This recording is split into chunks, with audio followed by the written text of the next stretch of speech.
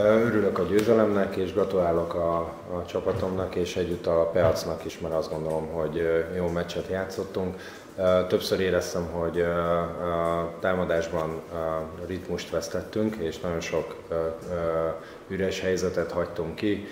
Nyilván ebbe közrejátszott a Peac védekezése, és közrejátszott az is, hogy, hogy alapvetően kintről a dobásaink ma nem úgy estek, de összességben úgy gondolom, hogy végig kontrolláltuk a mérkőzést, és folytatjuk utunkat tovább.